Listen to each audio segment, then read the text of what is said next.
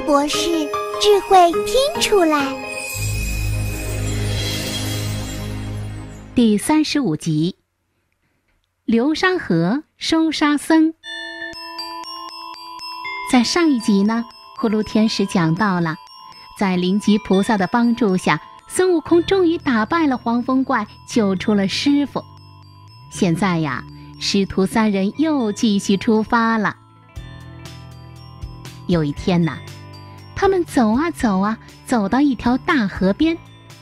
这条大河呀，灰蒙蒙的，看起来无边无际，水流时不时的拍打到岸上，轰轰作响。唐僧坐在白龙马上，很担心的看了一会儿，说：“悟空，八戒，你们看，这河水这么急，我们怎么过去呢？”猪八戒也拍着大腿说：“是啊，哎呀，我看这附近呐，连一艘船都没有。”唐僧又忍不住哎哎哎的叹了几口气。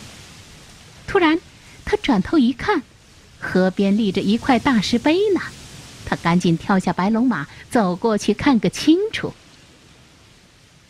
大石碑上写着三个大字：“流沙河。”孙悟空纳闷儿地说：“流沙河，难怪这里的河水都脏脏的。”唐僧又说：“底下还有一首诗呢，我看看写的是什么。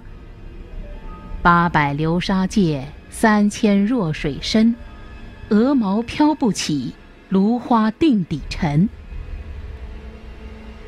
刚说完，猪八戒就哎呦一声说。哎呀，糟了，师傅，这意思是说这条河很深，连鹅毛和芦花那么轻的东西都不能在水上浮起来。哎呦，我估计呀，我们坐船的话肯定会沉到河底去的。突然，河水咕噜咕噜的转起来。对了，就像龙卷风一样，转得越来越快。哗的一下，河水卷起了五百。